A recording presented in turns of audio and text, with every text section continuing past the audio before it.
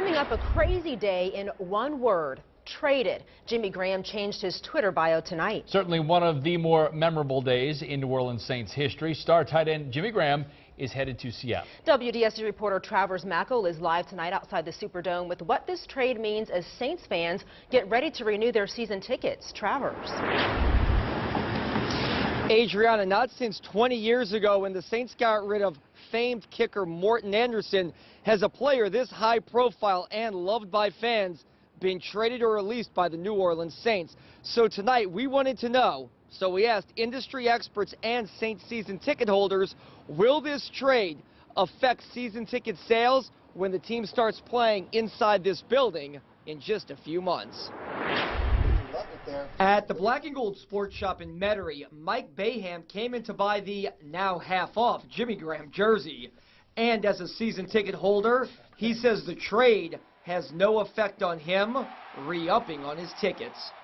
I think, uh, you know, th while this is a negative move, you know, it's a necessary move, but, uh, you know, uh, probably a little bit less enthusiastic, but I'll still be there in the stands next season.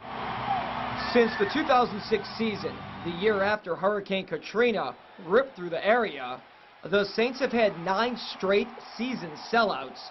And with the first payments for season tickets due March 20th, we asked experts if the Graham trade will turn fans off.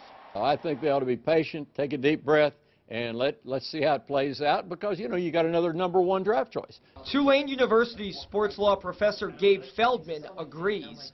I think it's unlikely to have a significant impact for at least a couple of reasons. One, particularly in football, one player, perhaps other than the quarterback, doesn't have that much of an impact on a team, certainly not compared to something like the NBA where we only have five guys on the court. So you've got a big roster size, guys wearing helmets. I don't think it's going to have that much of an impact. He says if the Saints win, ticket sales soar. At the end of the day, I think they believe that this is going to make them a stronger team on the field, which will make fans eventually forget about Jimmy Graham.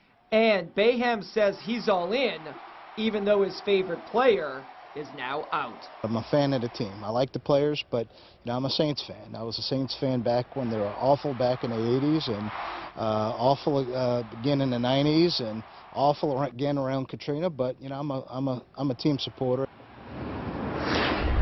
Former Saints executive Jim Miller says when teams do deals like this, they're aware there is a business side, but he says rarely, if ever, does that play a factor in trades. Usually it's all about the product on the field. Reporting on your side at the Superdome, I'm Travers Mackel, WDSU News.